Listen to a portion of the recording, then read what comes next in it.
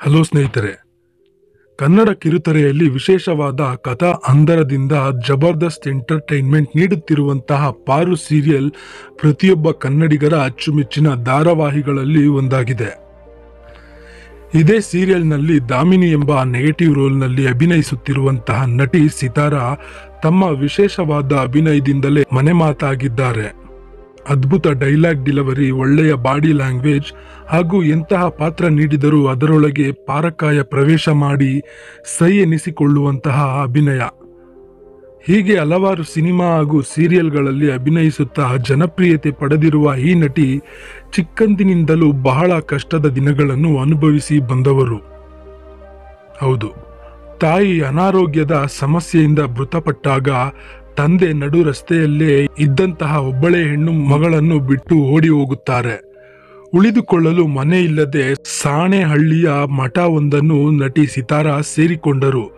ಅಲ್ಲೇ ತಮ್ಮ ಶಿಕ್ಷಣವನ್ನು ಮುಗಿಸಿ ಕೆಲಸ ಅರಿಸಿ ಮಠ ತೊರೆದ ಸಿತಾರ ಅವರು ಲಲಿತ ಕಲೆಗಳ ಮೇಲೆ ಆಸಕ್ತಿ ಇದ್ದ ಕಾರಣ ನಿನಾಸಂ ರಂಗಭೂಮಿಗೆ ಸೇರ್ಪಡೆಯಾದರು ಆದರೆ ಮಠ ತೊರೆದ ಮೇಲೆ ನಟಿ ಸಿತಾರ ಬದುಕು ಅಂದುಕೊಂಡಷ್ಟು ಸುಲಭವಾಗಿರಲಿಲ್ಲ. ಒಂಟಿ ಹೆಣ್ಣು ಮಕ್ಕಳನ್ನು ಯಾರು ತಾನೇ ಕೆಣಕದೆ ಸುಮ್ಮನೆ ಬಿಡುತ್ತಾರೆ ಹೇಳಿ. ಇಂತಹ ಕೌಸ್ಟಿಂಗ್ ಕೌಚ್ ಸಮಸ್ಯೆಯನ್ನ ಸಿತಾರ ರಂಗಭೂಮಿಯಲ್ಲಿ ಅನುಭವಿಸುತ್ತಿದ್ದರು. ಹೌದು, ಇತ್ತೀಚೆಗಷ್ಟೇ ನಡೆದ ಒಂದು ಸಂದರ್ಶನದಲ್ಲಿ ಇದರ ಬಗ್ಗೆ ಹಂಚಿಕೊಂಡು ಭಾವುಕರಾದ ಸಿತಾರ ಉಳಿದುಕೊಳ್ಳಲು ಮೊದಲೇ ಮನೆ ಇರಲಿಲ್ಲ.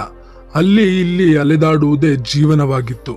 ನನ್ನ ಜೊತೆ ನಾಟಕ ಕಲಿಯುತ್ತಿದ್ದಂತಹ ಸ್ನೇಹಿತರೇ ನನಗೆ ತಾಳಲಾರದ ಕಿರುಕುಳವನ್ನು ನೀಡುತ್ತಿದ್ದರು.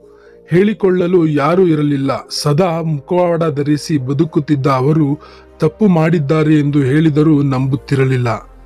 ಸ್ನಾನ ಮಾಡುವಾಗ ಬಾತ್ರೂಮ್ಗೆ ಬರ್ತಿದ್ರು.